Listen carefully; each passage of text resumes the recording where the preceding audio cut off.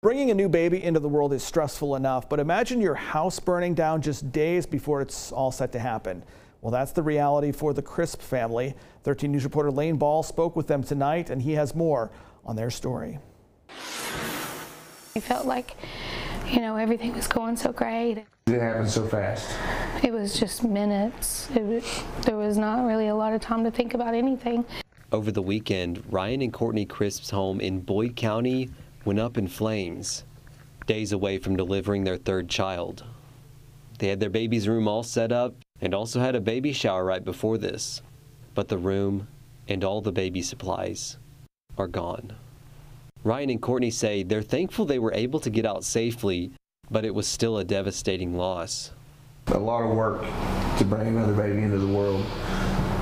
Now, a few days later, the community is coming together to replace what was lost.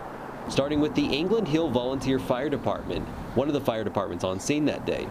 On Sunday, they'll be hosting a drive-through drop-off event between 1 and 5 p.m., asking people to bring baby supplies and other donations for the family.